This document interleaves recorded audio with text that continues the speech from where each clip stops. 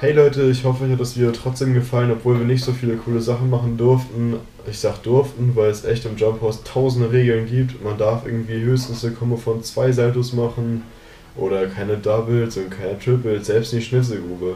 Echt, man darf nichts machen. Naja, egal.